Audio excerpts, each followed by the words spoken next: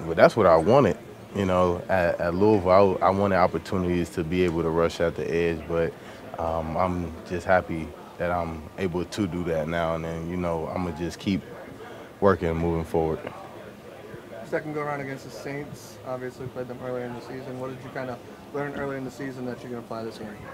Um, I feel like this game, this game, I'm, I feel, I feel more confident. You know, I feel like I'm gonna be able to get to the quarterback um, better than I did the last go around when we played the Saints, and you know, get ready to set the guys up better, and just, you know, I feel like I'm gonna get there.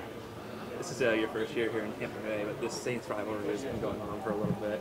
Um, what have you kind of learned about that from the older players, and uh, is there kind of excitement in the building about being able to potentially clinch the division here at home against them?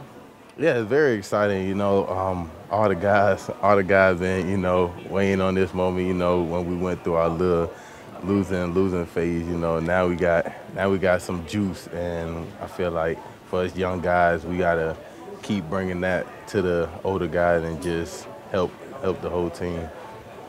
What's the key to keeping it going? Shoot, the practices, the practices, just coming to work every day and um, just pushing each other, and you know, we got a goal, and we trying to achieve that goal. So we just gotta keep helping each other, and you know, keep pushing each other in practice, and don't let don't let up. What parts of your craft or to being an NFL player do you know now that you didn't know the first time you played the Saints? Because that was a long time ago. Um, well, when we played the Saints, I I wasn't as comfortable as I am now. You know, I got more snaps and I'm getting more comfortable with the with the scheme and just being able to just get off the ball. That's what I didn't do against the Saints. Um, last go around, we played them.